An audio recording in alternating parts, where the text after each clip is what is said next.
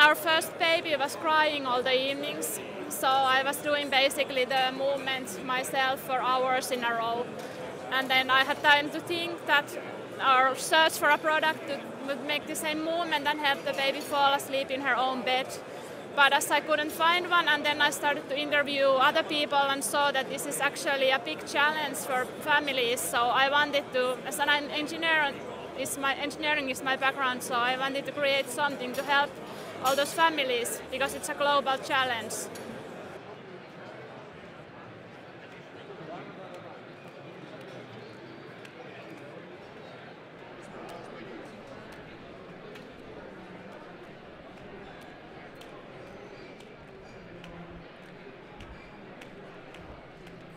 These are uh, new revolutionary poles that are digitalized. Uh, they are provided with sensors inside the product.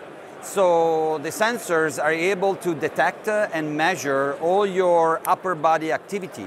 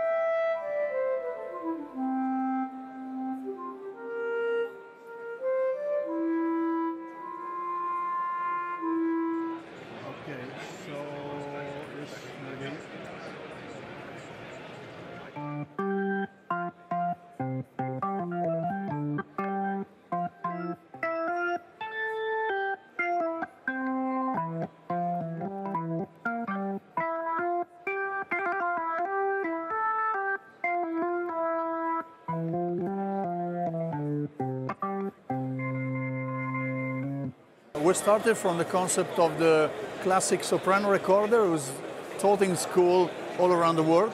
It's actually one of the most uh, learned musical instruments in the world. And uh, we maintained its acoustic uh, uh capabilities, but we added uh, a smart and very thin electronics on top of it. And that is capable of uh, getting your complete finger movements your breath force in uh, blowing into the instruments. And also we added, just, just because there was a, a, little spot free on the board, uh, a three-axis accelerometer.